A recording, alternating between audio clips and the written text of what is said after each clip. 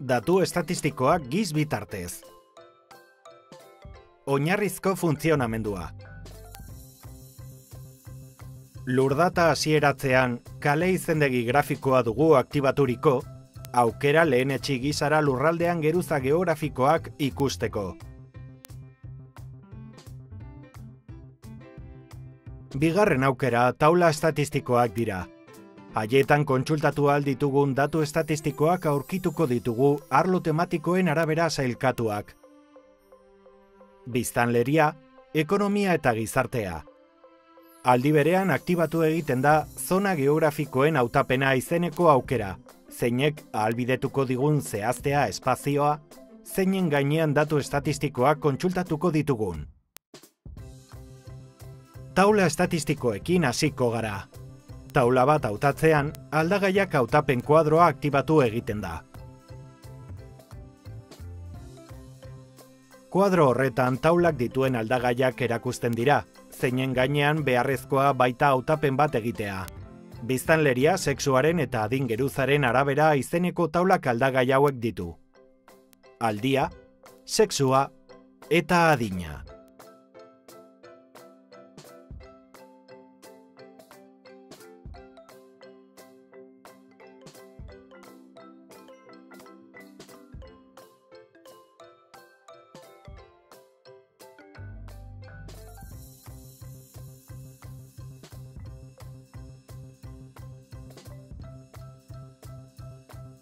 Kasu honetan zera hautatu dugu. Aldia, 2006. Sexua, guztirakoa, gizonak, emakumeak. Eta adina guztirakoa, adin guztiak aukeratuz. Ondoren datuen beste taula bat hautatu dugu. Hamasei urte eta gehiagoko biztanleria enplegatua sektore ekonomikoen eta sexuaren arabera.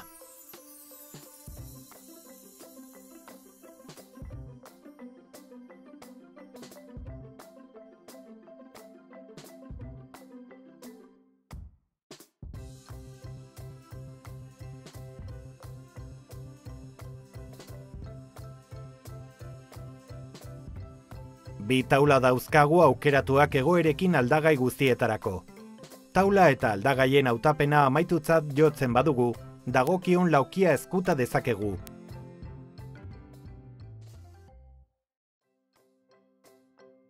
Orain, zona geografikoaren hautapena eraikitzeari ekingo diogu.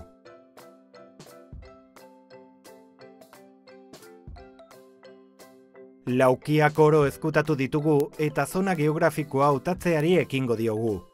Bilatu dugun kokaleku zehatz batean jarriko gara. Bilatzaileak hainbat emaitza ematen dizkigu Bilbao hitzarentzat. Udalerria bera zenbait kale eta are instalazio horik ere. Vitoria Gazteizko Bilbao plazara joango gara. Bagara jarriak Vitoria Gazteizko Bilbao plazaren gainean. Oraingoan zona geografikoaren hautapenera pasatuko gara. Lau aukera ditugu. Marraztu zure zona, aurrez definituriko zona, lurralde hierarkia eta zona ego. Lehenarekin hasiko gara. Zure area marraztu. Zona marrazteko hiru aukera ditugu. Puntua, lerroa eta poligonoa.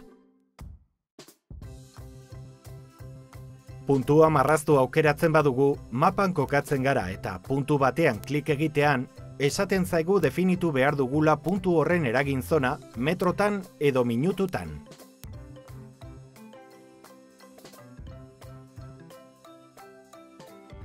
Orain badugu ala zona geografiko bat nola datuen hautapen bat. Posible da zona gehiago marraztea. Momentu horretan bada aktibatua datuak deskargatzeko posibilitatea. Jarraian, hautapen grafikoaren gainerako bitresnak erabiliko ditugu. Lerroa eta poligonoa.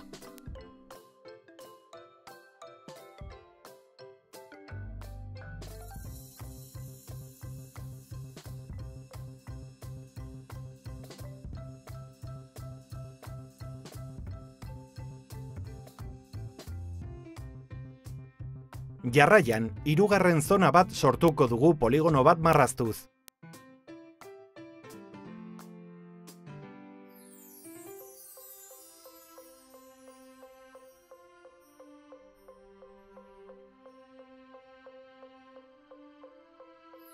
Momentu honetan baditugu hiru zonak. Puntua, lerroa eta poligonoa. Eta txostena deskargatuko dugu. Txostena sortu fitxa aktibatu eta hainbat aukera izango ditugu. Txostenaren parteak aldatu edo ezabatu ahal ditugu. Ura ikusi ahal dugu edo deskargatu ere.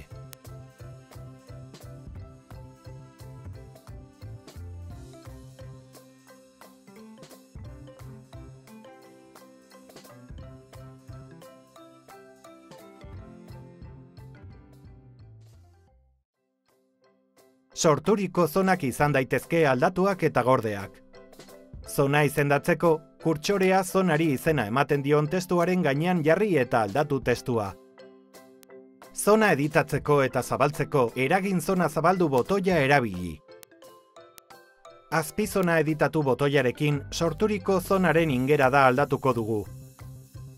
Aukera gehiago dago hautatzeko zona geografikoa zeinen gainean datu estatistikorik lortu nahi dugun.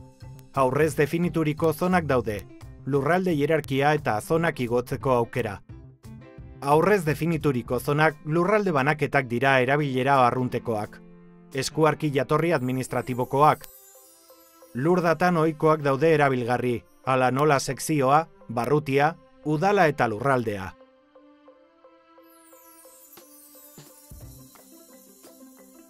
Lurralde hierarkiak balio du aurrez definituriko zona baten datuak eta haien osagaiak lortzeko.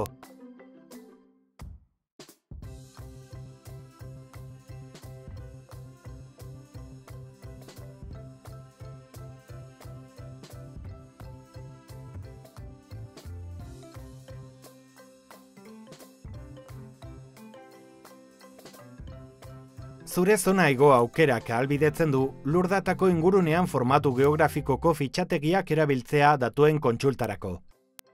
Posible da estandar hauek erabiltzea, SHP, KML, CSV eta GML. Hau, eustateko datu bankura hasierako hurbiltzea izan da. Laguntza gehiagorako, eustateko informazio zerbitzua erabilezazu.